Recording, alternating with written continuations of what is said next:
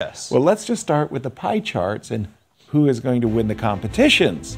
Uh, let's start with the open section. So after round five, it is Fabiano Caruana who is leading with his chances to win the tournament 73.9%. And again, this is based on 15,000 15, pardon, tournament simulations. Exactly. Hans Niemann second, but only with 8.2%. Now after round six we're like, gonna move? Yeah. and we see Awonder Liang slowly getting now he's third but still only 3% not many chances. It is Fabiano who is leading with 81.2% exactly then after seven.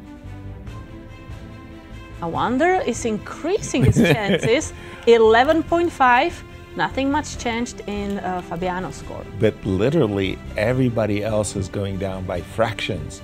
Uh, round eight Bobby, 80, 84%. Now, you see, I wouldn't have given him such a high 84 because uh, Awonder Liang is playing him today.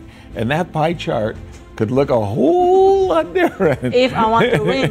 exactly. How about for the ladies? Tell us uh, who's going to win the tournament. I'm going to go with Carissa. I mean, Carissa, after round five, when she had five out of five, she had 76.9%, which we kind of questioned because it was very similar to Fabiano Caruana's score. Right. Although her performance was, was much better. Alice Lee clear second with 8%.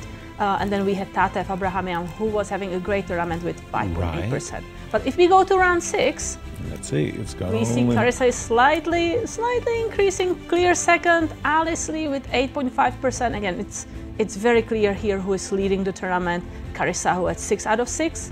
And if we go to the round seven, right, Begim, I mean, wow, wow okay. So 98.5%. Wow, wow, wow. Okay, but then the really, really, really big question is Carissa's chances of win winning the Bobby, the Bobby prize. Fischer prize. Now the crazy part, uh, yeah, round By the way, eight. round eight. you can hardly see. now this is that's Begim right there. uh, that's total purple.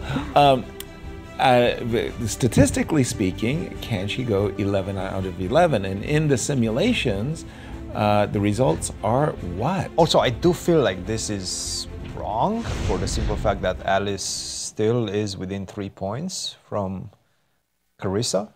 And if she wins all of them and then Carissa loses all of them, including the one in the 11th round. But I don't feel like that's, then that's they go into a statistically very right. unlikely. But not zero. no, not, zero. Not it's 0. 0.000 whatever. you come up with I, I, I, thought that the, we, we, we had a stat to say what the Bobby Fischer uh, chance was. I think it was gone up to Where do 13%. You think it is? 13. 13. That's a very specific number. number. That's what I had in mind. Okay. But that was. Kate? I would think it's like 25%, to be honest. Yeah, wow. I would say it's around 50%. That's my guess. 50%. I, I, I would wow. put it as high. I'm, I'm, uh, I'm the under on this one. you guys are the over.